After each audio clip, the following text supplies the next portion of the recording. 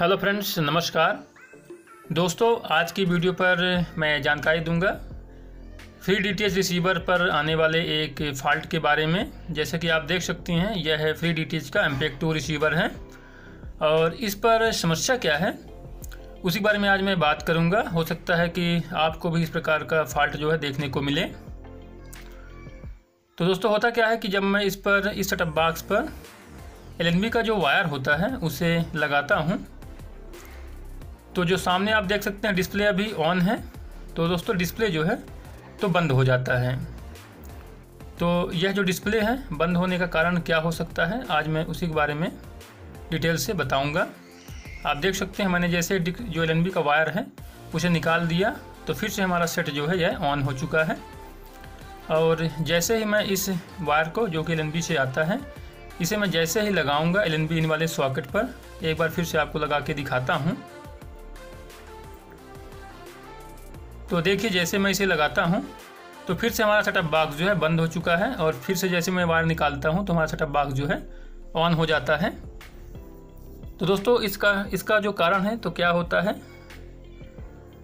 तो सबसे पहले तो दोस्तों, जैसे ही हम एल का वायर लगाते हैं और हमारा जो सेटअप बॉक्स है, बंद हो जाता है, जो डिस्प्ले है, बंद हो जाता है, उसका कारण होता है कभी कभी आपका जो डिक्स वाला वायर होता है मतलब कि एल वाला जो वायर होता है तो वह है शॉर्ट हो जाता है मतलब कि इस पर क्या होता है कि एक जो बीच वाला पॉइंट आप देख रहे हैं, यह इसका पॉजिटिव वाला पॉइंट होता है और मदरबोर्ड से हमारे करीब तेरह से चौदह वोल्ट के लगभग जो है, यहाँ से हमारा आउट होता है, जो कि एल पर जाता है एल को ऑन करने के लिए। तो यह हमारा शॉर्ट हो जाएगा, यदि हमारा वायर शॉर्ट हो जाएगा, तब भी हमारा सेटअप बॉक्स जो है, जैसे हम वायर लगाएँगे तो बंद हो जाएगा। और इसके अलावा एक दूसरा कारण क्या होता है कि आप देखे होंगे कि जो LNB होता है तो इसका जो सॉकेट होता है, ये कभी कभी सॉकेट जो है तो निकल कर बाहर आ जाता है। और इस सॉकेट को हम जब दोबारा लगा देते हैं, और फिर हम जब एलएनबी वाला वायर जो है लगाते हैं तो यह जो सॉकेट है, अंदर से शॉर्ट हो जाता है। इसके कारण भी जो है तो हमारा जो फॉल्ट है, हमें देखने को मिलता है कि जैसे ही हम एलएनबी का वायर लगाते हैं तो हमारा जो सेटअप बॉक्स है, वह बंद हो जाता है। और एक कारण दोस्तों और होता है जो कि सबसे ज़्यादा देखने को मिलता है। तो उसका कारण क्या होता है कि जो पावर सप्लाई होता है तो फॉल्ट हमारे पावर सप्लाई से होता है। पावर सप्लाई से जो मेन वोल्टेज होता है, जो कि इस प्रकार के पावर सप्लाई पर यह जो तिरपन निन्यानवे नंबर का डायोड लगा होता है, उससे तीन वोल्ट सप्लाई जो है हमारे मदरबोर्ड को ऑन होने के लिए जाता है। यह सप्लाई प्रॉपर नहीं बन पाता है, तीन वोल्ट से काफ़ी काफ़ी कम होता है। तब हमें यह समस्या देखने को मिलता है कि जैसे ही हम एलएनबी का वायर लगाते हैं तो हमारा डिस्प्ले जो है ऑफ़ हो जाता है। तो दोस्तों, मैं आपको वोल्टेज चेक करके भी दिखा देता हूँ। इस सेटअप बॉक्स पर फॉल्ट जो है इसी कारण से है। आप देख सकते हैं 2.5 और 2.6 वोल्ट जो है तो पावर सप्लाई से मदरबोर्ड पर जा रहा है।